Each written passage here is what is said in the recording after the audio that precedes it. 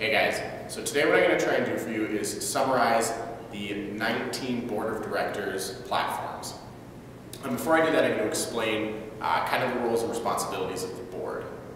I sat down and read all 19 board applications, and it was basically the most painful thing I have ever done. I'm pretty sure half of you don't even know what you're running for because your platforms are just, just garbage or non-existent in some cases. So I'm going to try and help you guys out so you don't have to go through the pain I did and, and summarize these. And then I'm going to give every candidate my suggestion on whether you should vote, not vote, or I'm completely indifferent because I just can't make a decision. So first of all, I want to clear something up. The Board of Directors is the Board of Directors for the Students' Union, not the university. That's more a point for the, uh, the candidates to take note of. You're applying to be on the board of directors for the Students' Union. The Students' Union is not the university. They have different responsibilities. Okay, so then what's the responsibility of our board of directors? We have a policy governance system, which means the board of directors is responsible for setting long-term goals, connecting with students, oversight, and managing the president. That's it. They do finances, and they monitor the president through executive limitations and by setting ends. Executive limitations basically say what the president cannot do, and ends are saying what he has to do. So our, our organization has four ends and more ELs than I really care about. This means that our board of directors is not an operating board. They have no say in operations. The president is responsible for the company's operations. So, directors, take the fucking study space out of your platforms. You can do nothing about the study space. You can't do anything about food. These aren't your responsibilities. Your responsibilities are to monitor the president. So your platform should focus on how you're going to do that. That being said, I'm going to try and keep this as short as possible, but there's 19 of them, so it's going to take a bit longer than I'd like it to. Okay, so last thing you need to know is that our board of directors has 15 seats, which means 15 people will be elected. There are 19 candidates, hence why none of them have campaigns. So hopefully, this might drive some of you to campaign. Okay, candidate number one, April. Platform has a lovely, touching, personal first paragraph, and then her second paragraph gets into believing in the voice of students, making sure things are communicated, even uses the word holistic. You know, big ups for cool vocabulary. And directly mentions advocating for students. So far, this is all really good. This is exactly what a director does. In my opinion, you should have stopped your platform there, because then you descend into making study space more efficient and expanding and, and building more. Like, it almost sounds like you want to build study space, and I, I don't know about you, but A, we don't own the campus, we own one building, and second of all, you want to build study space. A, that's operational, so it's not under the board. B, I, I, I, build, build, like put up a building. I, I can't get past that. End of the day, my vote recommendation is actually undecided. Uh, you'll have to think about that one for yourself. Candidate number two is Brian Wilson, and I loved the intro of his platform. And then he talks about focusing on communication and connecting with students, one of the biggest aspects of the board's role. He goes on to talk about diversity and the uniqueness of each Laurier student and how the organization needs to take that into consideration when it's making decisions. And most importantly, he doesn't talk about anything operational. He demonstrates an actual understanding of what a board's role is. So my vote recommendation on Brian is a definite yes. Candidate number three is Colin Atchison, and this is probably one of the best platforms I actually had to endure reading. He talks about how students are poorly represented and that this is the board's whole job. Then he focuses on reciprocal communication between students and WLUSU. He even focuses on how this communication is really important around spending and where student money is going. Finally, he talks about multi-campus representation and advocacy. Good buzzwords, but actually elaborates on what he's saying. This is exactly what a board platform should look like, and he even mentions holding the president responsible, aka the board's whole role. So, man, awesome research. This guy's good. My vote recommendation is without a doubt a yes. Okay, candidate number four is Courtney Yole. Uh, I don't know. First thing she talks about is creating awareness about resources. This is good. That's, that's a good start. And then she brings up the WLUSU clique and trying to break this and bring WLUSU events and services to the greater Laurier population. Also really good, also a big objective of the board. However, then you descend into wanting to work with coordinators and help them market their services and I, I think you might be stepping on some toes here because that's A, very operational and B, they have VPs and a marketing department. Uh, so I'd be careful about this. Um, but you do talk about multi-campus unification, which is cool and really important as you know this whole multi-campus thing becomes a, a, bigger and bigger issue. So overall, I, I would give her a yes vote. Candidate number five, we have Elias Eric I, I don't know. But his platform focuses on accountability and providing students with the best return on investment. You must be a biz kid, but good phrase anyways. Also focuses on financial prudency. Overall, Elias's platform is, is pretty short, uh, but he hits on some good points. So for vote, I, I'll say yeah.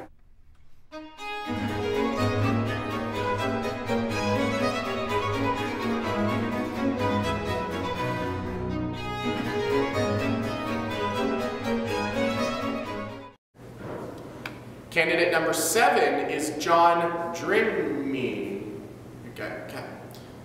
We need more Smiths running in this election is my real point here. But his platform had an error when I tried to open it, which I don't really think is his fault. Someone should look into that. I'm not going to give him a vote recommendation because I have no idea. Unless he purposely corrupted his platform, like those programs you see online to corrupt your assignments before you submit them so you can buy an extra day because then your prof emails you and is like your assignment doesn't open. If you did that, that's not cool. But otherwise, you know, maybe just look into it. Candidate number eight, John Pear. Despite having some atrocious grammar, dude, please edit your platform. If I have to read 19 of these, and supposedly every student's supposed to read 19 of them, I think that's gonna happen. But people are supposed to read these, and your grammar sucks, and it, it just makes it really shitty. Shittier. Shittier. It's already shitty. First John starts talking about representation, transparency, and I listed representation twice in my notes. This is good, good start, but the rest of your platform completely kills it. Because then you descend into all operational talk. You start talking about student services and study space, which we all know is my favorite issue, and then you start talking about the internet and class sizes. None of this is WLUSU. And it's all operational even if it was WLUSU. Like I said at the very beginning, this is the board of directors for the students union, not the university. You don't even know the role you're going into. So my vote recommendation is probably a no because class size, that like, yeah, classes are big, but you can't do anything about it on the board of directors. Board of governors maybe, or the senate. Or, uh, let's move on. Candidate number nine, which means, yes folks, we are halfway done. Thank heavens. Jordan Epstein. Platform was really short, but he focuses on accountability, increasing transparency, and every other major board buzzword. Now, your platform could have been longer, but he's one of the most reasonable voices that sits on our board now, and is without a doubt the most knowledgeable person about WLUSU in existence anywhere in the world. So 100%, yeah, it's a yes vote recommendation. Candidate number 10, guys, brace yourself for this one. Yuhar Singh. Uh, the first thing in his platform is a bus that runs constantly between here and Brantford. It, a, it's operational. B, what? You want to run a bus between here and Brantford? We might be the same Laurier, but we don't have the same students. There are not people who study on both campuses every day. That's not a thing, because that would make no sense, because it's an hour away. Not to mention, do you have any idea how much that bus would cost? I can't even spend time on this bus thing, because there's more goes on to talk about specific clubs and, and how he wants to introduce specific clubs. Dude, to start a club at Laurier, all you need is, uh, I think like 20, 15 signatures, I don't know the number, on a page, and then you just submit it with a budget, and you start a club. You don't need to be on the board. In fact, the board doesn't start clubs.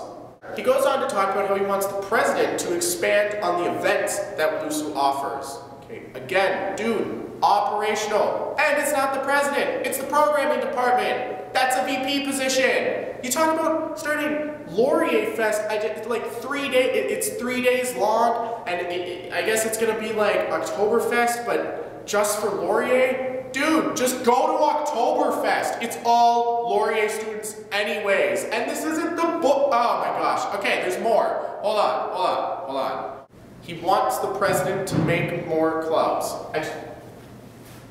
The president doesn't make clubs. Students make clubs, and then they submit it to the union, they get approval, and the union gives them money to run their club. Did you do any research on this organization? It's operational and it, he doesn't make clubs. His platform shows zero knowledge of the world, none whatsoever. So my vote recommendation is a no. Alright, candidate number 11 is Kate Stevenson, and the first thing I gotta say is, why is it that all current board members who are up for re-election have the shortest platforms ever? Come on guys, put, put a little effort in. That being said, she focuses on transparency, student connection, and long-term planning, forward thinking. Um, all really nice. My vote recommendation, very quickly, um, not overly excitedly, but yeah, it, it's a yes. Candidate number 12 is Laura Bassett. And I'm, I'm, not really sure how I feel about this platform. Your platform is kind of scattered. Uh, you talk about study space, again, operational, but you do bring up multi-campus. You are a Brantford student, but you bring up multi-campus, which is good. That is important. But then your platform, there's like an entire half page that talks about the direct-to-you uh, prescription service that the UDesk offers and how it's good and I don't really get why at all. Um, I, I just don't understand why that's there. I, I'm at a loss. It, it's kind of well researched. You seem to know a lot about the Students' Union, but I'm not sure you know a lot about your role on board. So this is going to be one of those ones. My vote recommendation is a little unsure. Uh, maybe take a look at our platform, decide for yourself. I, I can't decide. All right, candidate number 13, Matt Castleman.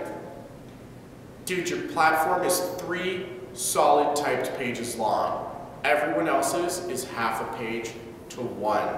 I, I had to like take a break and go do a shot after I read it.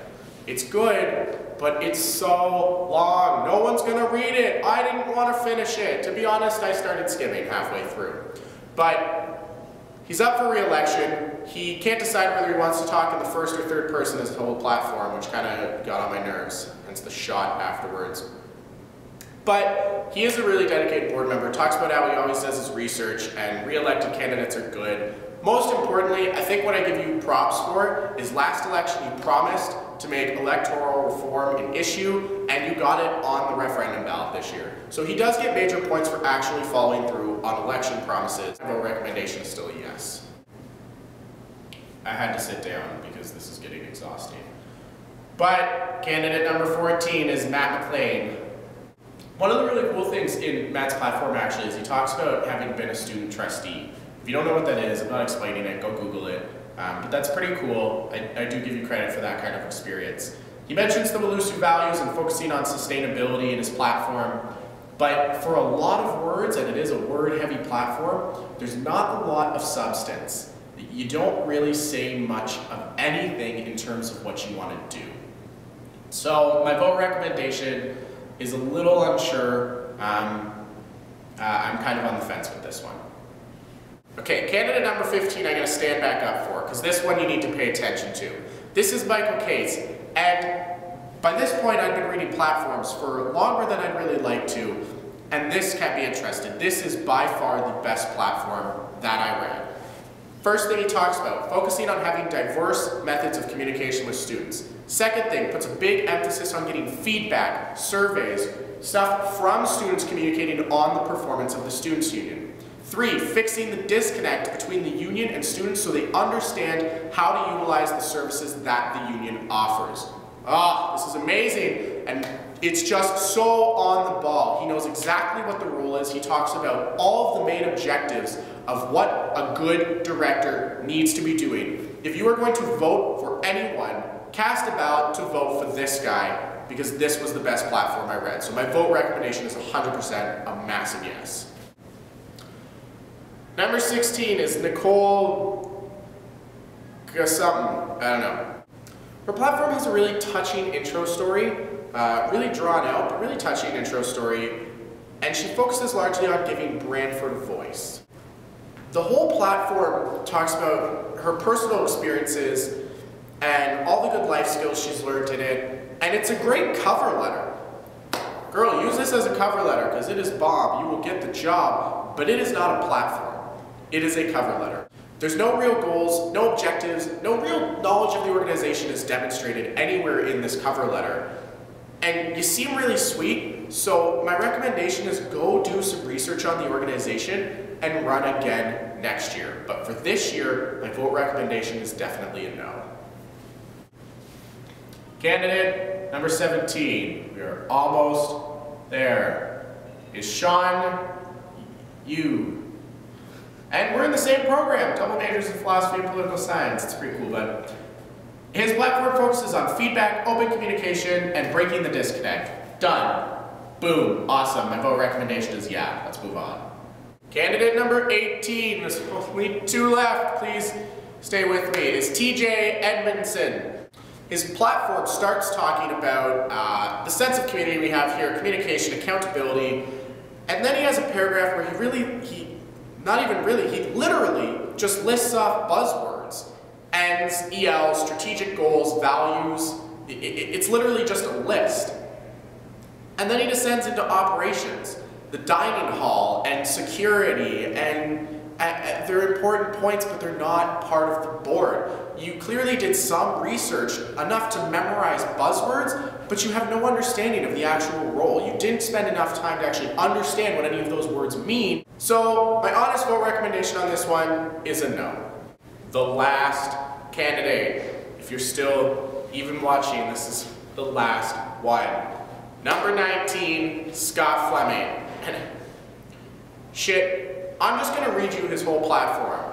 And I know, don't start sweating, you're like, what? This is gonna be like another 20 minutes. No, look down, it's almost done. I'm going to read you his whole platform, wait for it. I believe student government needs to be accountable and transparent, particularly when dealing with political and financial issues. I also believe that the status quo should be questioned when necessary.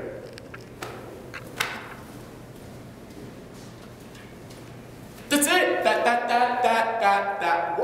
You, you didn't say anything. That is not a platform. That's like the opening line of an essay. And a shitty opening line of an essay, because it's really overarching. There's a, that's not a platform, man. Write a platform. You've been on the bod for two years, and that's the best you can come up with? All you did was stick 20 buzzwords into two sentences. I just, I, it's frustrating because it seems like you don't care about being there. If you cared about getting back onto the board, you'd write a real platform. And not only is it two sentences, but you submitted it late because the first time I checked the website to get all the directors' platforms, yours wasn't there yet. So, my vote recommendation is a no, because you don't even care enough to put in the effort. So, hopefully this was helpful for you. I don't know about you, but my soul hurts a little Maybe yours does too. All right, so you do not need to vote for 15 candidates. You can vote for up to 15, but you can also only vote for three. So pick however many you like and vote for those ones. Second of all, I need to put in the disclaimer that I did film this before the open forum. I know it's coming out the day of the open forum, but I filmed it on the weekend. Lastly, it's done. It's over. Go drink some alcohol. That's what I'm gonna go do. This is finished. Board is done. The topic's dead.